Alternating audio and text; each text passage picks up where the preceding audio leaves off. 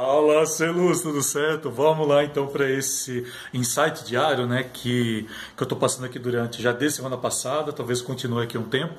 Né? Hoje é quinta, 27 de agosto, e eu quero estar trazendo um tema aqui que eu acho que é interessante, falando sobre originalidade.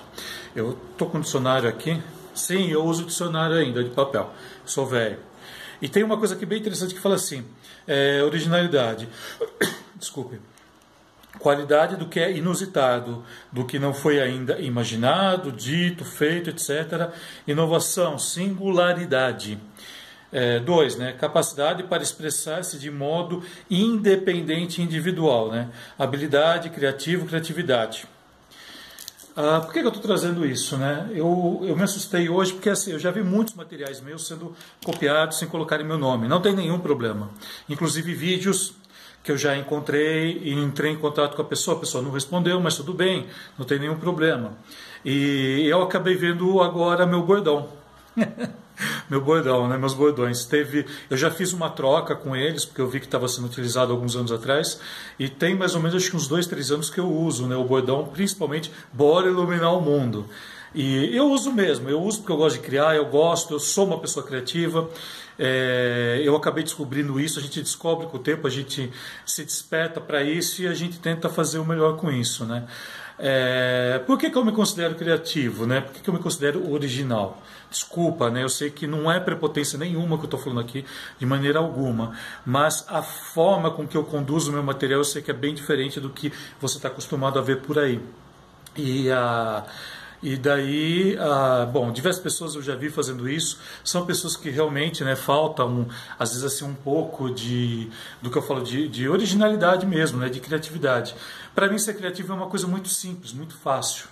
É, também eu, teve, eu tive técnicas, eu aprendi técnicas também para isso.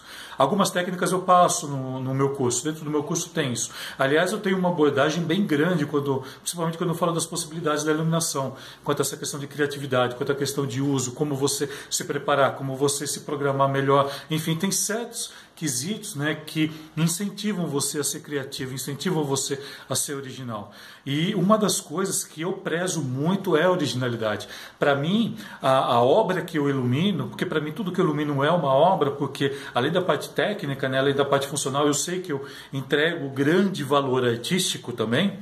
Ah, o que acontece? Para mim é, é, obra única. É tudo para mim é muito único. Por mais que eu utilize o mesmo tipo de filtro, a mesma cor com LED, por mais que eu utilize o mesmo é, material, ele vai ser feito de uma maneira diferente. Ah, então, ser criativo, né, ainda mais no mundo hoje que se copia praticamente tudo, eu sei que é uma característica um pouco estranha. E, e assim, eu sei que eu acabo chamando atenção por isso. Né? Eu sou, todo mundo fala que eu sou meio fora da curva, né? já ouvi muito isso dos meus alunos, que eu sou fora da curva, mas é o meu jeito. Eu gosto de ser assim. Eu gosto de estar criando, eu gosto de estar trazendo inovações, eu gosto de de repente pegar uma informação, transformá-la de uma maneira que ela se torne realmente útil né? Então, acho que isso é uma característica é, que eu acho muito importante e que eu vejo muita falta nos conteúdos de iluminação.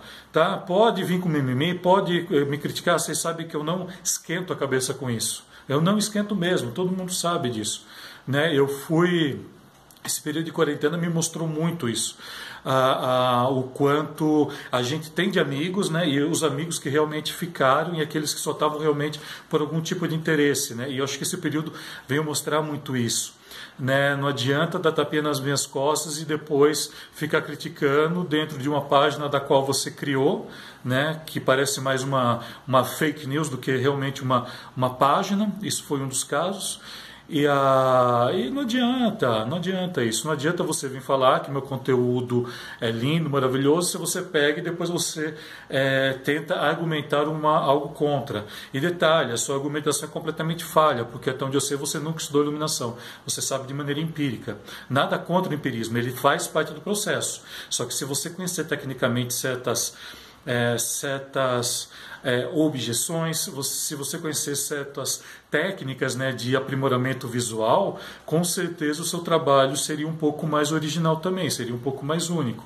E pelo que eu vi, né, é, essas pessoas né, que acabaram fazendo isso de alguma forma, eu vi que não existe originalidade, fazem mais do mesmo.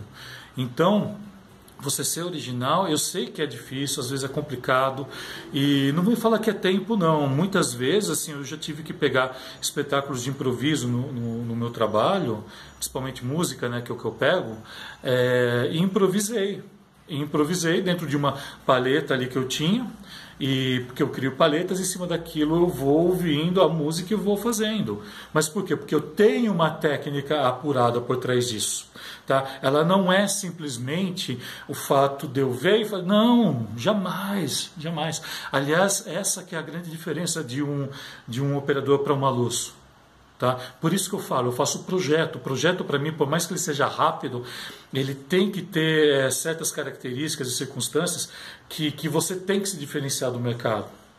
Agora, se você faz sempre a mesma coisa, se você é, é, faz aquela mesmice que todo mundo faz, tá? não adianta vir copiar as minhas coisas, não adianta vir colocar o meu bordão.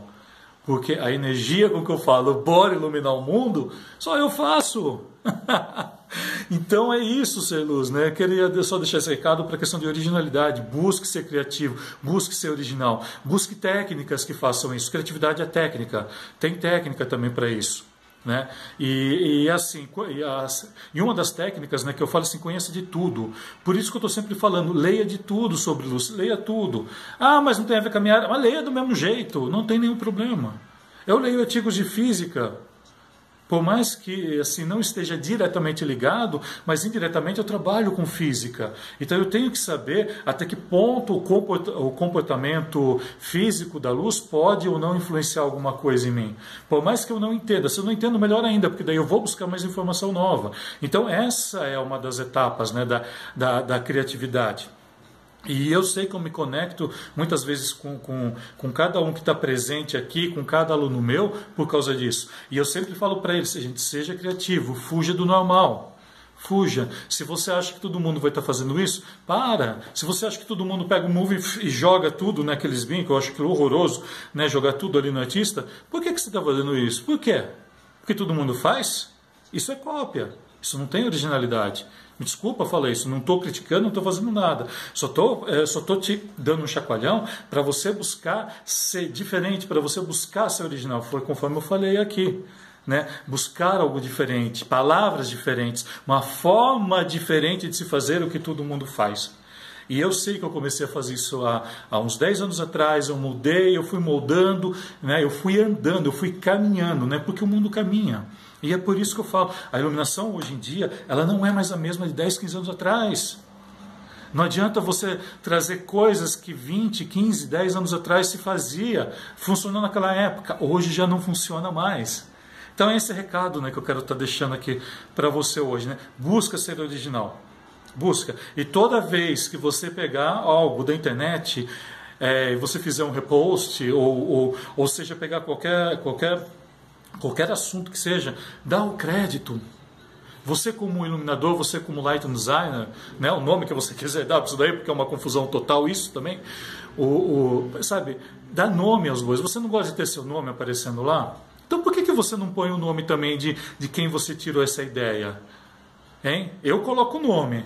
Tanto é que vira e mexe o reposto. Isso daqui é de repostagem de fulano, repostagem de ciclano. Quanto eu faço isso? Quantas vezes? E não, não tenho vergonha nenhuma disso. Não tenho vergonha nenhuma de pegar algo que é muito interessante e falar: ó, isso eu li e estou transformando disso. Opa, está caindo aqui. Isso eu li e estou transformando disso. Por quê? É extremamente importante você saber isso. Seja original. Vou parar aqui um pouquinho que já caiu aqui. Acho que já está na hora de parar. Foi um aviso. Beleza? Então, gratidão imensa, muito obrigado. E amanhã eu estou de volta aqui, hein? Mas sexta-feira, valeu. Bora, bora, bora, bora iluminar o mundo, ser iluminado. Vamos lá, ser luz, ser luz, bora iluminar.